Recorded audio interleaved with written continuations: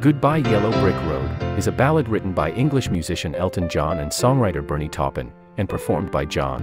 When are you gonna come down?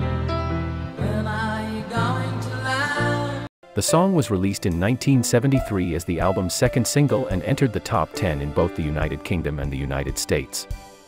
It was one of John's biggest hits. I